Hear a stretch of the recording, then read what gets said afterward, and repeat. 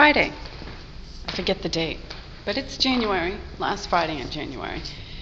And I didn't video blog yesterday, so I just wanted to show you the map with its wonderful border on there, parchment border. Oops, sorry. And I've lined, I've lined all the continents.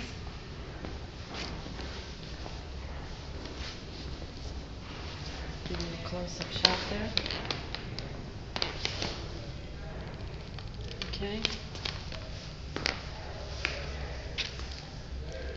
Canada. Great Lakes again. So I just wanted to show you that. We've got the borders in. And um, over here is a pattern of stencils for the dots which mark, I think they're called minutes in the border, and you can see we're playing with that. And um, I'll show you that when we're done today.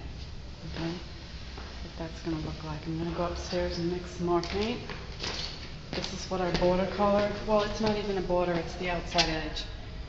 It's going to be blue to match the doors. Staff only. So that will make the chart kind of have some dimensional qualities to it because it will have a high contrast. See?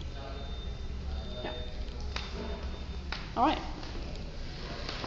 So there's the um, that's the actual stencil that we're using. We're calling them dots in the middle, but I think they're called minutes for for chart makers. People charting their course. Okay, or degrees. Actually, maybe they're called degrees. That's a Robert thing. And by the way, from the very beginning, when I first came in here, day one, this floor was maple, not pine. I painted a maple floor, folks. Period, maple. Oh well. See you later.